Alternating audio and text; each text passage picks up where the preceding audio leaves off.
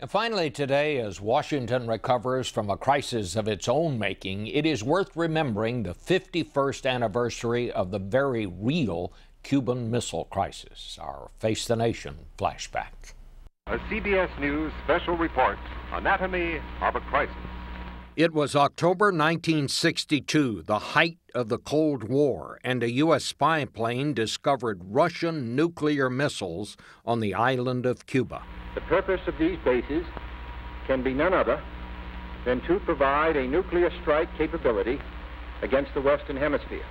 In a televised address, President Kennedy announced a naval blockade on all shipments to the island and demanded the Soviet Union withdraw the missiles. Should these offensive military preparations continue, thus increasing the threat to the hemisphere, further action will be justified.